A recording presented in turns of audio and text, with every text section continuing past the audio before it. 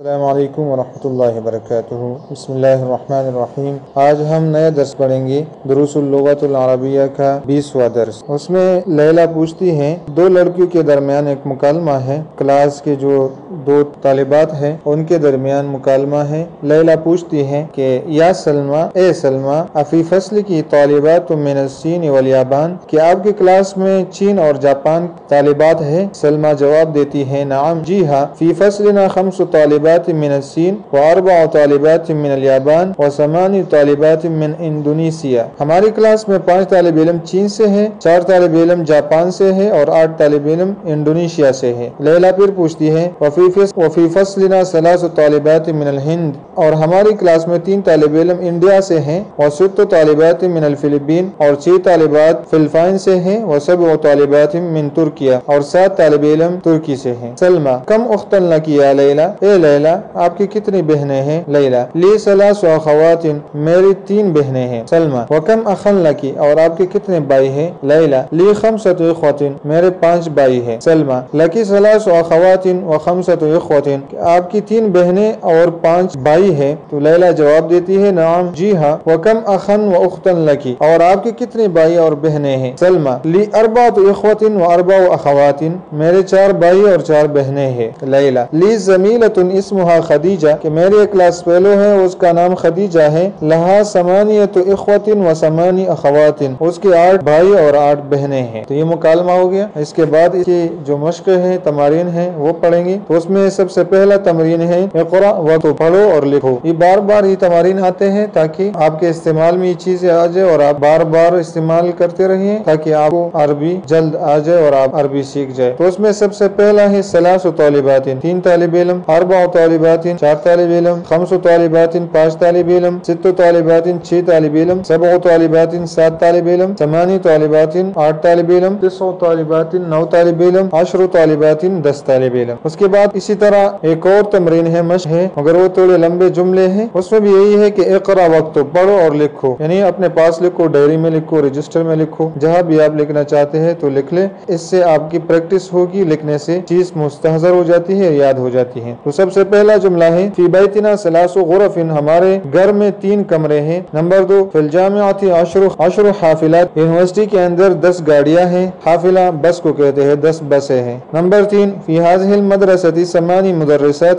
کہ اس مدرسے کے اندر آٹھ مدرسات ہے استانیہ ہے۔ نمبر چار عباس لہو سبع بنات۔ عباس کی سات بیٹیاں ہے نمبر پانچ، فی بیتنا تسع دجاجات۔ ہمارے گھر میں نو مرغیاں ہے نمبر چھ، فی الجامعات خمس کلیات یونیورسٹی کے اندر پانچ شعبے ہیں۔ نمبر سات، فی المستشفى عشر طبیبات و اربع ممرضات کے ہسپتال کے اندر دس ڈاکٹرز ہیں اور چار نرسیں ہیں۔ نمبر آٹھ، خالد لہو سلاست و ابنائن و اربع بنات۔ خالد کی تین بیٹے اور چار بیٹیاں ہیں۔ نمبر نو، لی خمسط اخوت و ست اخوات۔ میری پانچ بھائی اور چھ بہنیں ہیں۔ نمبر دس، فی حاضل کتاب عشرت دروس۔ اس کتاب کے اندر دس دروس ہے دس اسباق ہے نمبر گیارہ لنا اربعت اعمام و خمس عمات، کہ ہمارے چار چاچے اور پانچ چاچیاں ہیں۔ نمبر بارہ، فی بلدی خمس جامعات، میرے ملک کے اندر پانچ یونیورسٹیاں ہیں۔ نمبر تیرہ، فی ذالک الدرس ثمانیہ کلمات جدیدہ، کہ اس درس کے اندر آٹھ نئے کلمات ہیں، آٹھ نئے الفاظ ہیں۔ نمبر چودہ نمبر چودہ،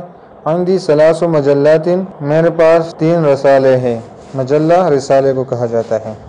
اگلا مشق ہے عجیب عن الاسئلة الآتیة مستعملا العدد المذکور بین قوسین کہ آنے والے سوالات کے جوابات دو اور مذکور عدد کو استعمال کرتے ہوئے، بین قوسین جو بریکٹ کے اندر دیا گیا ہے۔ نمبر ایک، کم اخن لکا، آپ کے کتنے بائی ہیں؟ تو آگے بریکٹ میں چھ لکھا ہوا ہے۔ تو اس کو عربی میں کیسے بنائیں گے؟ لی ستت اخوتن۔ نمبر دو، کم اختن لکا تو اس کا جواب ہے، لی خمسط اخوات۔ نمبر تین، کم بقارتن فی الحقلی کہ کیت کے اندر کتنے گائے ہیں؟ تو اس کا جواب ہے، فی الحقلی عشرت بقارات کہ کیت کے اندر کتنی گائے ہیں؟ تو اس کا جواب ہے، فی الحقلی عشرت بقارات نمبر چار، کم طالبت جدیدت فی الفصل۔ کلاس کے اندر کتنی نئے طالبات ہیں؟ تو اس کا جواب ہے، فی الفصل تسعت طالبات جدیدہ۔ نمبر پانچ، کم طبیبت فی مستشف الولادہ کہ جہاں پر بچے پیدا ہوتے ہیں، اس ہسپتال میں کتنے ڈاکٹرز ہیں؟ اس کا جواب ہے فی مستشف الولادہ سمانیت طبیبات نمبر چھ، کم حافلت فی الجامعہ۔ یونیورسٹی کے اندر کتنی بسیں ہیں؟ اس کا جواب ہے فی الحافلت ستت حافلات نمبر سات، کم ابن لکا۔ کہ آپ کے کتنے بھائی ہیں؟ تو اس کا جواب ہے لی اربعت ابنائن۔ نمبر آٹھ، کم بنتن لکا۔ کہ آپ کی کتنی بیٹیاں ہیں؟ اس کا جواب ہے لی سبعت بنات نمبر نو، کم جامعتن فی بلدکا، کہ آپ کے ملک میں کتنی یونیورسٹیاں ہیں؟ تو اس کا جواب ہے، فی بلدی سلاس جامعات۔ نمبر دس، کم کتاب عندکا، کہ آپ کے پاس کتنی کتابیں ہیں؟ تو اس کا جواب ہے، عندی سمانیت کتبن، کہ میرے پاس آٹھ کتابیں ہیں۔ اس کے بعد ہے، اقرأ الجمل الاتیہ وقتبها مع کتابت الاعداد الواردت فیہا بالحروف۔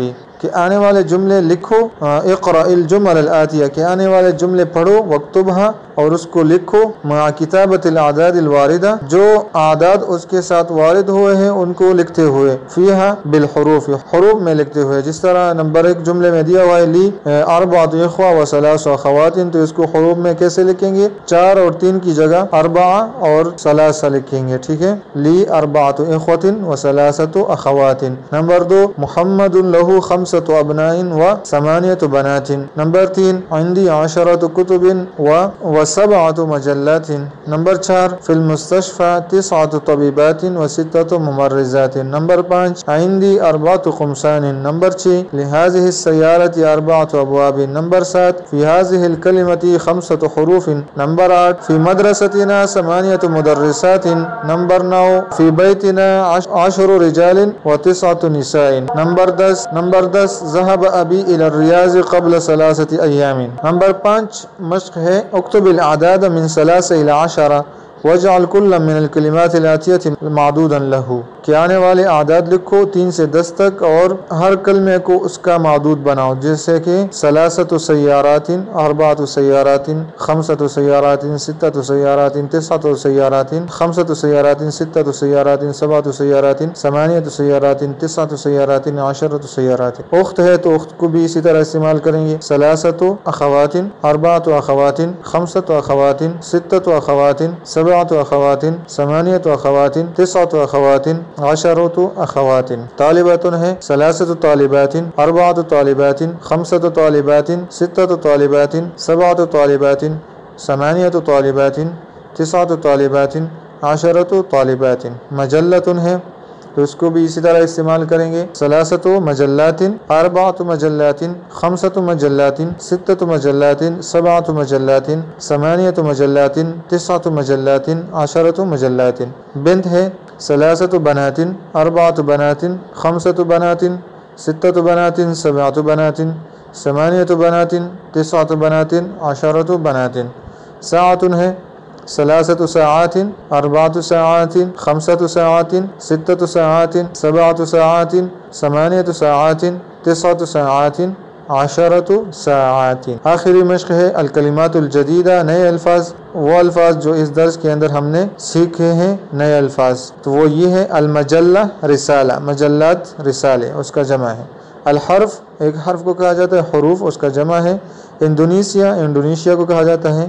الکلمہ تو ایک کلمہ یا ایک لفظ، کلماتن، اس کا جمع ہے۔ ٹھیک ہے؟ اتنا کافی ہے، یاد کریں، اپنے پاس لکھ لیں، دوسروں کے ساتھ شیئر کریں۔ اور اگر آپ کو یہ دروس پسند آتے ہیں تو آپ لائک کریں، شیئر کریں اور سبسکرائب بھی ضرور کیجیے گا۔ السلام علیکم ورحمۃ اللہ وبرکاتہ۔